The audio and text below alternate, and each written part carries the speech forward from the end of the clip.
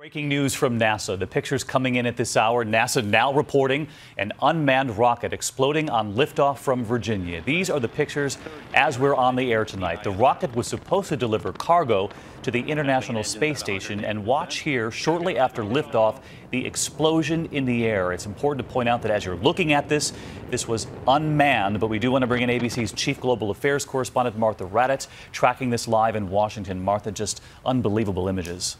David, this was the first nighttime launch from this NASA base in Virginia, and you could see and feel this explosion for miles. The rocket, loaded with highly volatile fuel as it launched towards space, was in the first stage of flight.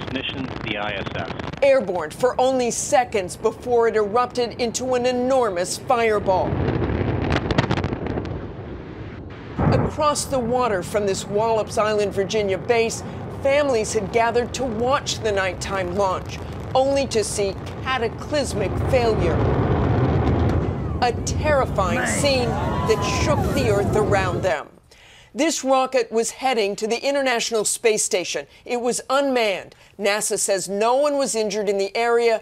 It was carrying about 5,000 pounds of cargo to the space station the third of eight cargo resupply missions under a contract with a private company called Orbital Sciences Corporation in Virginia. The rocket was supposed to be launched yesterday, but that launch was scrubbed because a boat was inside the range safety zone, so the launch was moved to tonight.